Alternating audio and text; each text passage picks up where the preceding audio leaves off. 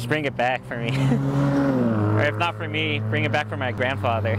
A public plea tonight from that Navy petty officer after thieves made off with his cherished ride. The vintage Mustang was stolen right from his Bonita home. And 10 News reporter Lauren Davis is live at the scene of that crime. And Lauren, it's a very distinct car with incredible sentimental value.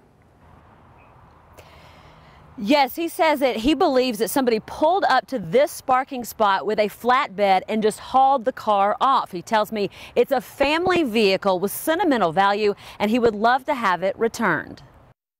Take a look at this bright orange 1966 Ford Mustang, a car that had been in Jose Morano's family for decades. His grandfather owned it. His mother drove it.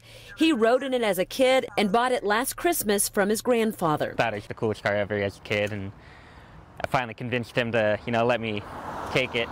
But someone else took it from this parking spot while he was working overnight as a Navy aircraft mechanic. Now I stopped, you know, I noticed, the you know, something was wrong, and then I realized my, my car wasn't there. Disbelief.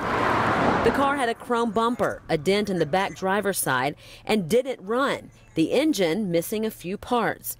He planned on fixing it up for his granddad, and that's what hurts him the most. I really wanted to, you know, get it running so that way I can, uh, you know, drive my grandpa back in, in it, you know. And Moreno told me that one of his neighbors said he actually saw them loading up the Mustang and putting it on a flatbed tow truck. He thinks it was someone, not a tow truck company, who took it because they've called impound lots and found nothing. Just bring it back for me. or if not for me, bring it back for my grandfather. So Morano is asking for your help locating this family heirloom.